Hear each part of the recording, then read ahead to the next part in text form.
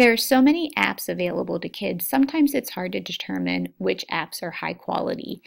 Um, Common Sense Media is a great place to go to find out more about apps for children, as well as other media sources. You just search Common Sense Media and you get to their homepage. From their homepage on the right hand side, you can choose the type of media that you want to look at. And here we're looking at apps. And then hit go.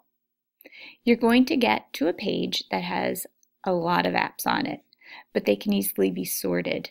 So you can sort by most recent, or you can sort by how highly rated an app is, or by the age. So we're going to start by sorting by how highly rated an app is, the five stars and we're going to choose an age level.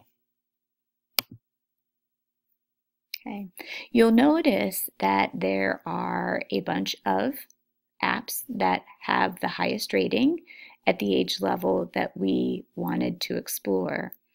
Um, there's a very brief summary that tells you what the app is about, and then you can click on Read More. You'll see screenshots of the app. You'll see whether or not it cost um, to purchase the app. You'll see the educational value, the ease of play. And then there's more details about the app, why it got the rating it got. Things that as a family you can talk about when your child plays this app, and then more details.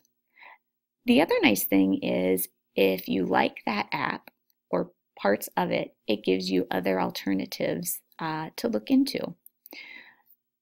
So when you go to look for apps for your kids, Common Sense Media is a great place to start.